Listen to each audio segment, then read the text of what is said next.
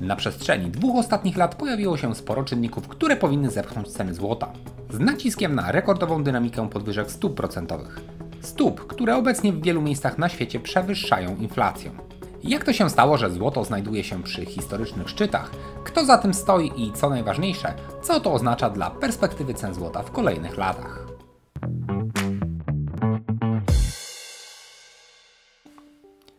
Chiny, bo to głównie im poświęcony jest ten film, wygenerowały największy popyt na złoto w ubiegłym roku. Na poziomie zakupów Ludowego Banku Chin zobaczyliśmy rekordowy popyt, ale sporą rolę odegrało też zaangażowanie społeczeństwa. A że mieszka tam 1,4 miliarda ludzi, tych trendów zdecydowanie nie warto ignorować. Dzisiejszy materiał jest pierwszą z dwuczęściowej serii, w ramach której przyjrzymy się temu, jak skutecznie popyt ze strony Chin, ale i całego wschodniego bloku gospodarczego amortyzuje czynniki, które w przeszłości spychały złoto na niższe poziomy cenowe. I przede wszystkim, co się stanie w momencie, w którym do tego popytu przyłączy się Zachód.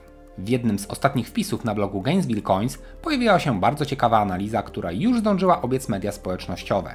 Jej autorem jest Jan Nieuwenausch, holenderski analityk od wielu lat zajmujący się rynkiem złota. Ta dwuczęściowa seria opiera się w dużej mierze właśnie na tym wpisie, któremu przyjrzymy się nieco bliżej. Z danych Światowej Rady Złota, które wzięte zostały na tapet w filmie z 9 lutego, wiemy już, że pod względem popytu zgłoszonego przez banki centralne Chiny zajęły w ubiegłym roku pierwsze miejsce, kupując 225 ton złota. Notabene drugie miejsce przypadło Polsce, która między kwietniem a listopadem powiększyła swoje rezerwy złota o 130 ton, o czym warto też pamiętać w kontekście ostatnich zmian retoryki dotyczącej naszego zaangażowania w toczącym się za wschodnią granicą konflikcie.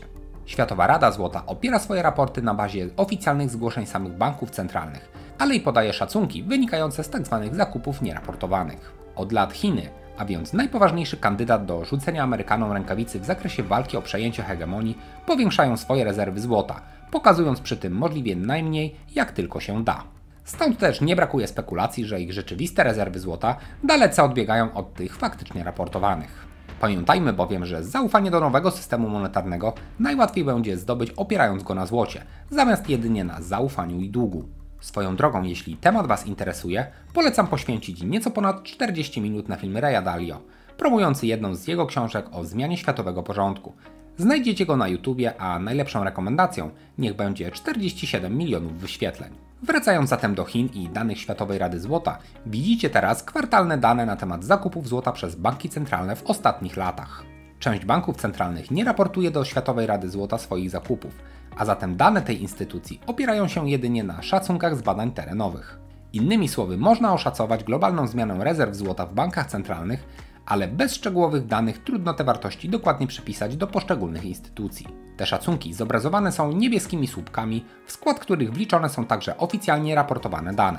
Z kolei gdyby je wyizolować, przybrałyby postać słupków pomarańczowych.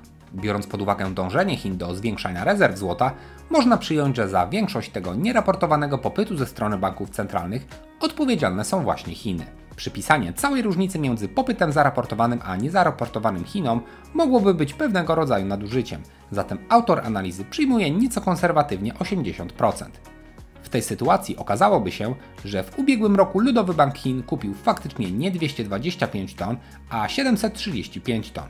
Z kolei w roku 2022 z tak przeprowadzonej kalkulacji otrzymalibyśmy wynik niemal 600 ton, co z kolei oznacza, że popyt ze strony Chin był w ubiegłym roku wyższy o 23% względem roku poprzedniego, co widać po jasnobrązowych słupkach. Z kolei czarna linia obrazuje skumulowane rezerwy złota, jakie uzyskalibyśmy przyjmując taką kalkulację.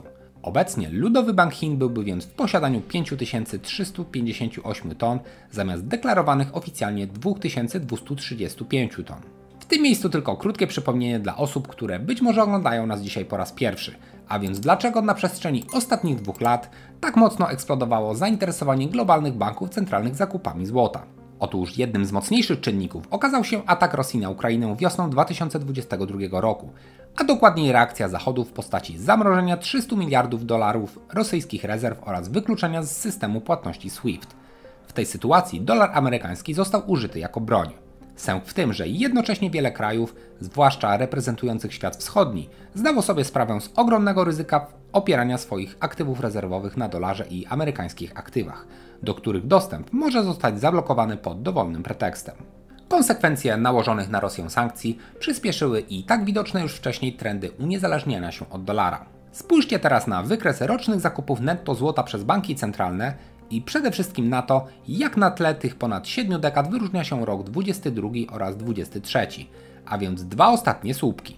W zapowiedzi tego materiału zahaczyłem o kwestię przeciwności, z jakimi rynek złota musiał mierzyć się na przestrzeni tych ostatnich dwóch lat, z naciskiem na silny wzrost stóp procentowych, będący odpowiedzią wcześniejszego wystrzału cen, czyli konsekwencji popandemicznego do druku.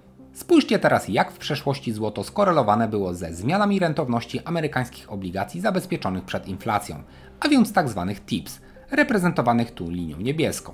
Zwracam uwagę na odwróconą skalę, zatem ta korelacja ze złotem przez lata miała de facto charakter ujemny i jak widać bardzo wysoki. Teraz zwróćcie uwagę, jak na skutek rosnących stóp procentowych zapoczątkowanych w 2022 roku w USA wzrosła rentowność tychże obligacji, stanowiących przecież konkurencję dla niepłacącego odsetek złota. Jak widać, cena złota niespecjalnie zareagowała na tę zmianę na rynku długu i zamiast runąć, kruszec kontynuował jedynie ponad 3-letni trend boczny. A teraz przypomnijcie sobie, jak wyglądały zakupy złota przez banki centralne w 2022 i 2023 roku z wiodącą rolą Chin.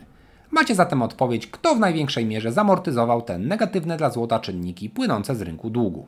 W tym miejscu proponuję jeszcze przeskoczenie do wykresu z Kreskat Capital, który podrzucaliśmy na naszym Twitterze w ostatnich dniach. Przy okazji, jeśli chcecie być na bieżąco z tego typu ciekawostkami, najprościej będzie dodać nasz profil do śledzonych. Jasną linią zaznaczony jest udział amerykańskich obligacji skarbowych w bilansach zagranicznych banków centralnych. Ten, jak widać na przestrzeni ostatnich lat, systematycznie spada, co oznacza, że banki centralne spoza USA mają coraz mniej amerykańskiego długu. Z kolei słupki niebieskie reprezentują średni udział złota w strukturze aktywów rezerwowych banków centralnych. Zauważcie, że jeszcze na początku lat 80. udział ten przekraczał 70%, by spaść do kilkunastu w pierwszej dekadzie lat 2000. Co ciekawe, od okolic 2015 roku, a więc momentu rozpoczęcia spadku udziału amerykańskiego długu w bilansach banków centralnych poza USA, jednocześnie zaczął się podnosić udział złota. Jeśli więc proces dedolaryzacji będzie postępował, można zakładać, że miejsca amerykańskich aktywów zastępowane będą właśnie pozbawionym ryzyka strony trzeciej złotem, którego udział wciąż pozostaje na względnie niskim poziomie. Obecnie zbliża się on do około 20%. Tymczasem historyczna średnia znajduje się bliżej 40%. W kontekście polskich rezerw te wynoszą obecnie 12,5%, natomiast z zapowiedzi profesora Adama Glapińskiego wynikało, że NBP będzie się kierował z zakupami złota w stronę 20% udziału kursu w aktywach rezerwowych. W tym miejscu stawiamy kropkę. Natomiast temat ogromnej roli, jaką Chiny odgrywają obecnie w układzie sił na globalnym rynku złota, dokończymy w drugiej części tego materiału, a więc w kolejny piątek. Komentarze pod filmem są jak zawsze do Waszej dyspozycji, zatem dajcie znać, co sądzicie o aktywności Chin w zakresie kreowania popytu na złoto. Czy faktycznie mają realne szanse na odebranie Stanom Zjednoczonym globalnej hegemonii i czy złoto odegra w kolejnych latach jakąś kluczową rolę w trakcie starcia tych dwóch największych mocarstw? Dzięki za poświęcony czas, nie zapomnijcie o łapce, a korzystając z okazji wszystkiego dobrego na nadchodzące święta Wielkiej Nocy od całego naszego zespołu.